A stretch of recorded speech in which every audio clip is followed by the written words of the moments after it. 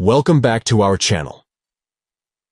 In today's video, we'll guide you through the process of sending one-time viewed media in Telegram. Do you want to share a photo that can only be viewed once by the recipient?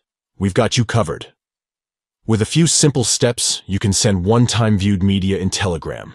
So, let's dive into the step-by-step process of sending one-time viewed media. Let's get started. Step 1. Open Telegram on your device. Step 2. Go to the chat where you want to send the media. Step 3.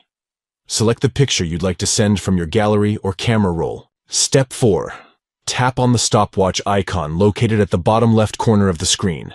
Then tap on View Once from the options that appear. By following these steps, you can send one-time viewed media in Telegram, ensuring that the recipient can only view the photo once before it disappears. Sending one-time viewed media can be useful when you want to share sensitive information, personal photos, or anything that you want to keep private and limited to a single view.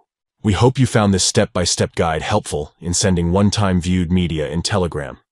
If you did, don't forget to give this video a thumbs up and subscribe to our channel for more helpful tutorials and guides. Thank you for watching and enjoy sharing one-time viewed media in Telegram.